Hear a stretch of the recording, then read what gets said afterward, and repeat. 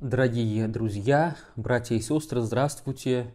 Продолжается наш цикл, посвященный разбору некоторых понятных, но понимаемых превратно мест из самой популярной, распространенной, читаемой книги всеми верующими. Книга называется «Псалтирь». И даже у верующих такое есть, а, такие особые есть издания. Видите, Новый Завет и Псалтирь, где под одной обложкой э, можно найти новозаветные документы, это Евангелие, Деяния, Послания, Апокалипсис и ветхозаветный э, текст псалмов, псалтирь. Э, псалмы книга одновременно и понятная, и знакомая, но очень часто понятная не как надо было бы понимать этот древний текст, потому что иногда перевод искажает смысл который изначально Бог, Святой Дух или царь Давид вложил в тот или иной э, псалом. А бывает ситуация еще более сложная. Мы имеем дело с переводом перевода. Э, именно так дело обстоит с переводом Библии на церковно-славянский язык. Не все знают, но изначально оригинал был написан на языке еврейском, Потом появляется перевод греческий, называется он Септуагинта. И уже в дальнейшем с этой Септуагинты э, был сделан перевод на церковно-славянский язык. Мы э, на наших э, таких мини-лекциях касаемся разных известных псалмов из богослужебных последований, читаемых очень часто в церковном контексте и разбираем сложные, непонятные места этих псалмов. Герой нашего сегодняшнего разговора – Псалом 54. Э, псалом, который является точно знакомым э, многим людям. Э, все служители церкви, диаконы, Пономари, чтецы, священники знают его наизусть, потому что он находится, входит в состав так называемого шестого часа. Такое маленькое богослужение, читаемое перед началом литургии. Поэтому, если вы приходите на богослужение, на литургию воскресную, не опаздывая, не впритык, а немножко заранее, то вы точно слышали э, псалмы этого часа и в том числе псалом 54.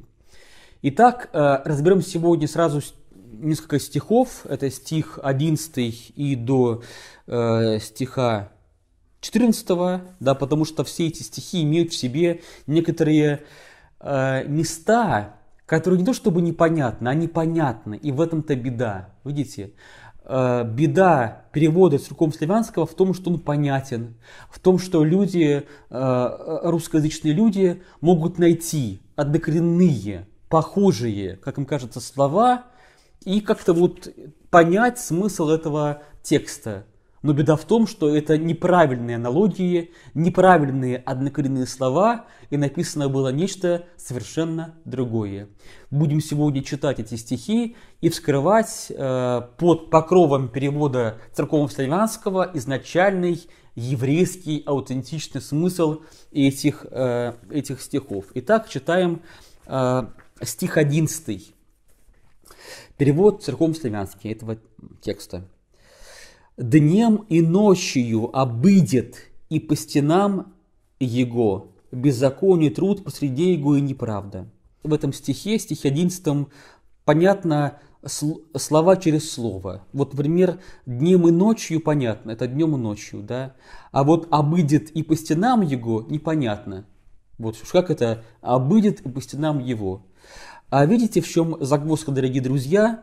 В том, что э, тут не местоимение «и», да, допустим, мама и папа, не знаю, братья и сестры, как в русском языке.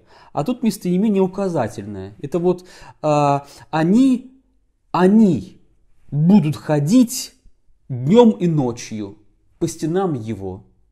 Вот, вот такой смысл. Днем и ночью они, это и, обыдет, будут ходить по кругу, по его стенам, по, по, каким, по чьим стенам? Тут имеется в виду город, да, выше сказано про беззаконие привлекания в Ограде, да, вот такой город греха, город зла, э, у него есть стены, да, и днем и ночью они как будто бы ходят, охраняя этот самый город по стенам. Вот. Но э, в чем дальше написано? Беззаконие, труд посреди его и неправда. В чем нелогичность э, поведения людей, ходящих по стенам? Они охраняют, они стража, но по мнению автора этого текста, зло, угроза находится внутри города, а не снаружи. Что же есть внутри этого города? Видите, беззаконие и труд посреди его и неправда. Из этого перечня беззаконие, труд, неправда нам понятно два слова. Понятно правильно, то есть беззаконие в городе это плохо, неправда в городе плохо, а вот труд, да, труд. А, а вот тут, понимаете, э, имеется в виду то, что вроде бы понятно, но понятно нам не так, как надо понимать. В нашем русском языке, современном каждому из нас, которым мы пользуемся, труд это есть наша трудовая активность, наша работа. Да? И вопрос возникает, а что тут плохого да, в работе? Что, как будто бы безделье лучше? А проблему можно решить, обратившись к изначальному славянскому значению слова «труд». И вот перев... словарь дает нам э, такой э, перевод этого слова. Труд – это есть страдание, мучение, болезни. И от этого э, слова трудный образовано, да, вот трудный, то есть связанный с состраданием, с мучением, с болезнью. Таким образом, понимать стих 11 можно таким образом. Читаем перевод уже РБО. Днем и ночью ходят они кругом по стенам его, этого города. Злодеяние и беззаконие среди него. Вот. В этом городе царит злодеяние и беззаконие. Дальше. Значит, и не оскуде от стогны его лихва и лесть. Вот это вот, друзья, точно никому непонятное э, непонятный фрагмент, непонятный стих, непонятный сюжет из церковно-славянского текста. Хотя, повторю еще раз, все священники, все диаконы, все э, пономари-чтецы знают этот текст, его читают по памяти. Итак, «Не оскуде от стогнигу лихва и лесть». Э, ну вот, понятно что, ну понятно не оскуде. Но, видимо, не оскудело, то есть находится в изобилии, да, в заб... не уходит, не уменьшает, вот, не уменьшается, не уменьшается лихва и листь. Э, ну вот и от стогн, да, что такое? Стогны, лихва и лесть. Будем разбираться. Итак, стогны – это есть э, на церковном, на славянском языке э, слово, обозначающее такую вещь, как площадь, проспект, широкая улица. То есть есть в городах основные такие артерии, магистрали, это вот площади, широкие улицы, это есть то, что тут называется стогнами. Да, никакие не стога, как можно подумать, э, то, что знакомо нам по нашему деревенскому детству. Да, нет. Стога и стогны слова не однокоренные, даже малосозвучные. Так вот, э, не уходит как будто бы его э, э, с улиц, с площадей его этого города лихва и лесть. Но лесть – это обман, обман, а лихва – это есть э, тоже однако слово, слово связанное с, по смыслу, ну, ложь, обман, лукавство, да, вот такое, нечестность, непрямота тогда можно понимать стих 12 таким образом, как нам переводит его переводчик РБО. Посреди города гибель, обман и ложь с его улиц не сходят. Вот так вот. Дальше будет самое интересное. Вот. Яко аще бы враг поносил ми, претерпел бы уба, и аще бы ненавидя мя, намя речевал, укрыл бы от него. В принципе, когда мы это читаем, этот стих, а не слышим э, своими ушками, то мы можем понять, э, что тут имеется в виду. Значит, как можно это понять? Ведь если бы враг меня поносил, я бы это претерпел, я бы это пережил. Да? От врага я такого ожидаю, я к этому готов, это меня не может убить. Значит, и аще бы ненавидя меня, на меня велеречивало, укрыло бы все от него. И если бы ненавидящий меня на меня воздвигал такие большие, ну, лживые речи, я бы от него укрылся, укрылся. Читаем в переводе РБО. Вот это, напомню, что псалмы это поэзия, да, и поэтому переводчик РБО э, пытается перевести все это как будто бы это стихотворение, как будто это э, настоящая поэзия. «Не враг меня поносит, я стерпел бы. Не враг меня теснит, я бы укрылся». Вот такой смысл этого стиха 13. Дальше будет самый главный стих нашего сегодняшнего разговора. «Ты же человече равнодушнее, владыка мой и знаймый мой». Ты же человече равнодушнее. И, конечно же, для э, слуха русского человека, владеющего русским языком, все понятно. Человек равнодушный. И как будто бы сразу такое возникает представление, что ты вот э, проявляешь равнодушие. Мой какой-то владыка, какой-то мой знаемый. А на самом деле э, перевод совершенно искажает изначальный, понимаете, э, э, смысл этого стиха. Что имеется в виду? Значит, ты, ты, меняется как бы фокус, меняется адресат э, героя этого текста, и он как будто бы обращается к другим, к другому человеку.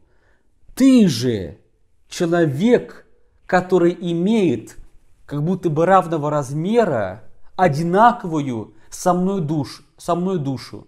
Мы с тобой похожи, мы с тобой идентичны, мы с тобой друзья, вот что имеется в виду. То есть, если бы меня враги бы там шпыняли, преследовали, э, уничтожали, я бы стерпел бы, я бы убежал. Ты же, мой друг, человек, имеющий э, как будто бы одинаковую со мной или вообще даже общую со мной душу, ты мой э, близкий, ты мой товарищ. И вот так переводит этот стих – псалом, э, это стих псалма, переводчик РБО.